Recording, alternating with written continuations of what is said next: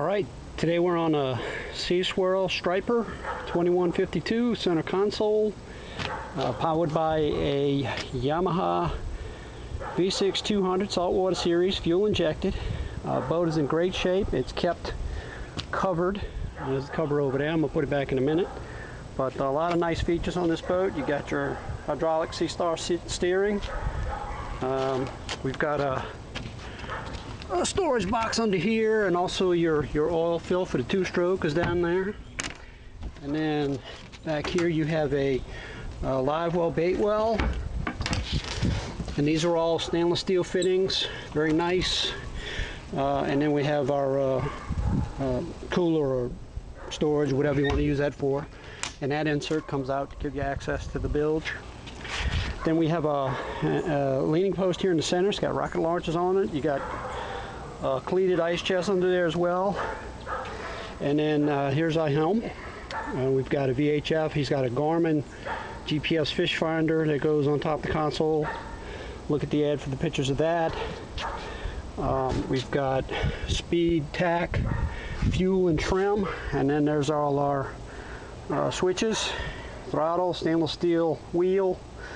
And then uh, under the console, we've got three batteries and a charger. Got rod holes on both sides. You do have a stereo. Uh, that also is is uh, inside. So take a look at the pictures for that. So speakers there, you got two speakers. And uh, here's our bow area, very nice casting area. You got rod storage, um, equipment storage on each side that's watertight. In the middle you've got the huge fish box and walk around this way to get away from the bees. Okay, oh, he's following me.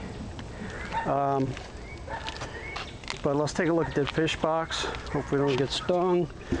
All right, thing is huge. Uh, you can fit quite a bit of fish in there or whatever else. And then uh, second, uh, bait well, circulating bait well is right here under this forward facing seat. Okay, and then you've got a, a MotorGuide 82 pound Grady White uh, trolling motor there. Got an anchor locker with an anchor in it. Hand handrails all the way around. Upholstery's in real good shape since it's kept covered. It's not kept inside, but it is kept covered, so there's no sun damage here. Uh, got some pine needles in here, as expected. Lots of handrails. There's two more Sony speakers. Uh, very nice boat. Well laid out package. We'll go take a look at the outside next. All right, here we are on the outside again, 06 uh, Seaswirl Striper, uh, 22 footer. Uh, got a nice, very good condition motor back here, props in good shape.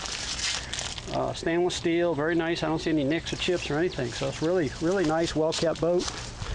Uh, got a double axle trailer with a set of uh, disc brakes on the front.